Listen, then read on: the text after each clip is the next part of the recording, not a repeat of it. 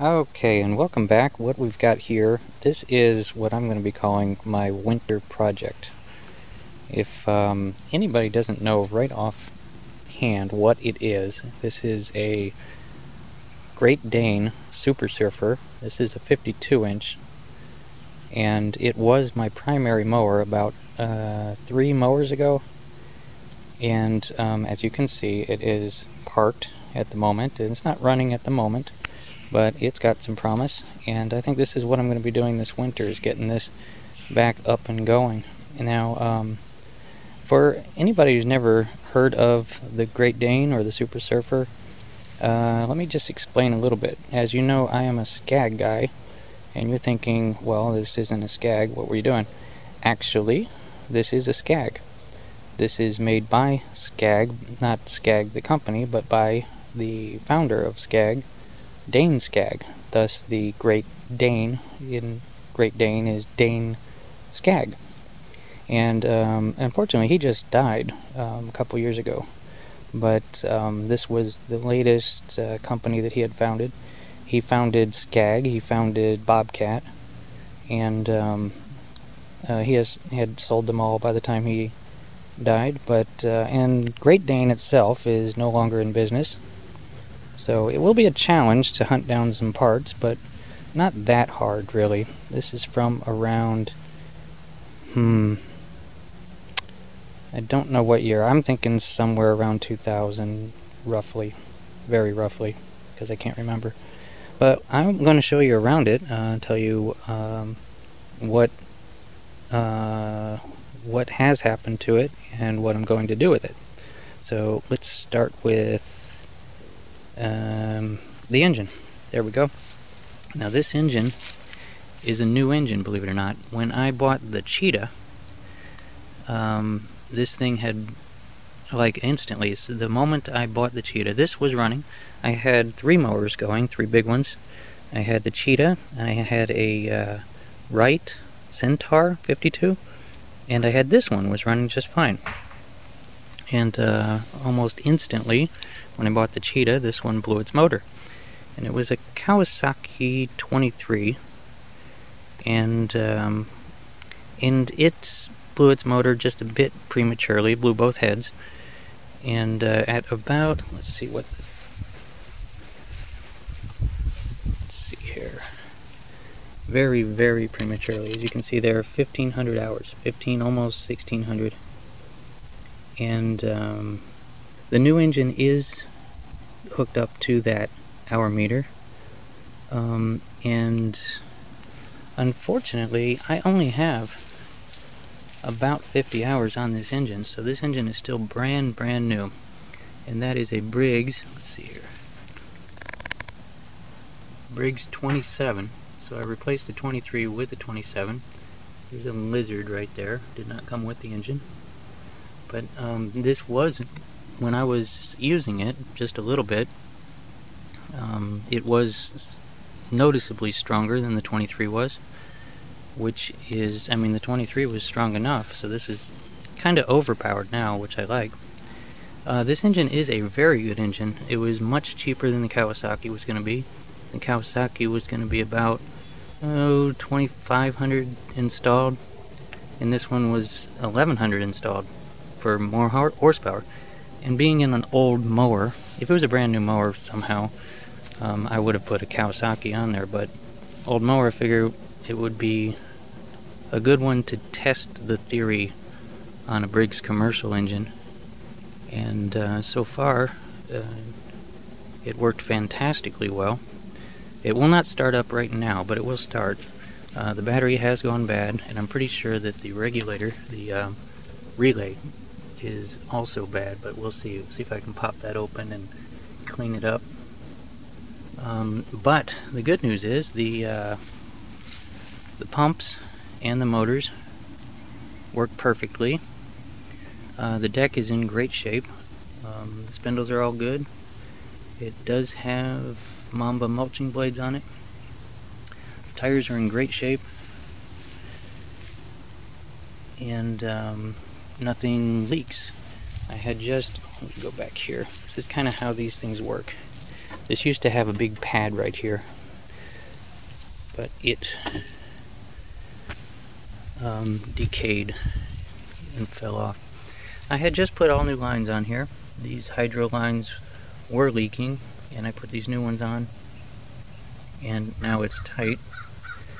Um, the wheel motors used to have covers on them but I took them off so that I could I, I take all covers off so that I can clean these things properly even with the blower um, to get in there and get all that stuff off of there so there's not a lot of grass buildup and heat buildup. Um, and uh, this is just a look at it. Uh, there's your deck where you stand. It's really, really wide. And there are springs on that deck. You can see them right there. Uh, yeah, you're looking at them. And that all works perfectly. It's been great. Um, there's some controversy on whether or not Scag invented the stander because kind of the Wright Stander came out about the same time that this came out. And I just don't know. I'm not going to say anything one way or the other. But it was definitely one of the originals, which makes this kind of a classic and definitely worth um, restoring. Uh, okay, now on to, okay, let me look in here. If I can remember what kind of blades I have in there. What do we have? Yeah, we got we got mulching blades on there. And it mulches fantastically well. I remember that clearly. Now the deck, at one point I had everything off the deck because it was rusting. I took everything off the deck and painted it with that Rust-Oleum hammered finish and it is holding, it is not rusting. I put a ton of it on there and uh, as I remember, all this is working perfectly. Now, the problems. Okay, let's get on to the problems. The things I'm going to have to hunt down. Now, the front forks here, the yokes there, that go up into that shaft, the shaft that goes up into that hole from here to here. Um, that yoke itself is worn, so even replacing the bushings isn't going to solve that problem. So I need to hunt down two front forks because they're both worn like that. Um, but the, the bearings inside the wheels are fine and the tires are fine. Uh, yeah, so that's that. As I said, the hydro pumps and the hydro motors turn fine, but there is a problem. The main thing that parked it was, I think it was on this wheel. The way these things work, right there in the middle, if I had this off, there is a shaft coming out of the wheel motor, and then there's a hub on the wheel. And there's a thing called a keyway that um, holds a key it's hard to explain. So there's a shaft in in well there's a there's a groove in the shaft and there's a groove in the hub and there, there's a key in there that's basically just a rectangular piece of metal that makes up the difference and that's what makes your wheel turn when your wheel motor turns and that is made out of a metal that's softer than the shaft on purpose and softer than the hub on purpose so that if it were to start to wear it would um, wear out the key before it wears out the shaft. But what happened, um, somehow, that when that was, uh, the key was wearing out, and it uh, demolished the hub and demolished the the groove in the shaft coming out of the wheel motor. Now, is that's the big problem.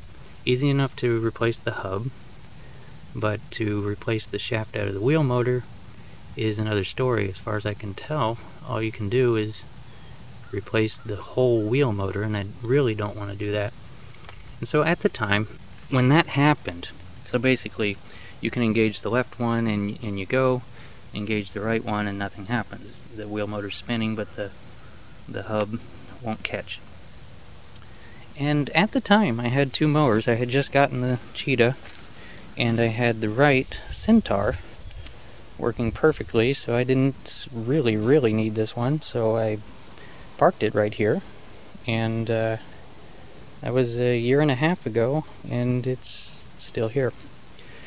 And I feel really bad about that because the motor is brand new. But, you know, a little bit at a time. I'll just kind of hunt down some parts and work on that this winter. And I'll have this thing back in action because I'm positive I'm going to be the only one around here running one of these. And it's definitely worth uh, getting it back in uh, working order. Kind of like restoring an old hot rod.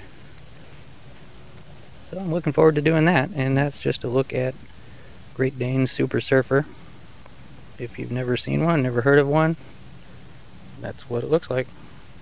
So appreciate y'all watching. Have a good one.